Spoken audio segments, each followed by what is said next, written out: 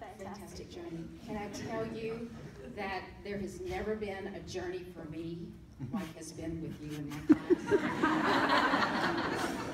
my earliest memory of Eli, okay, my earliest memory, the classes started at like 4.45 and the kids, I check their assignments and they come up to the squares and stand there. Well, here was Eli. The class started at 4:45. He's standing alone on a square saying, Miss Judy, it's 4:46.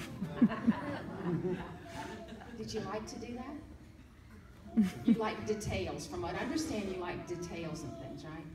Everything to be just right. I don't know why I'm a little afraid of interviewing, but, but I am. what was your favorite activity in class?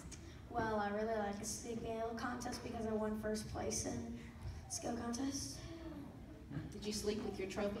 No. No. but I'm, I'm very proud of you do, for doing that. Do you have any advice for younger music students that are studying music? Well, I really encourage them to just practice. So that's pretty much it. Did you, do you do a lot of practicing at home? Very much. Do you do music that's not in our music, in our curriculum? Do you ever do other songs? Yes, ma'am. One of them is Hurry Up Joe. I like Catching Up Blues. I like those kind of songs. Okay, well, those are really good, good, good songs. So you won first place. That was my next question, but you already told them that. So what are your plans now?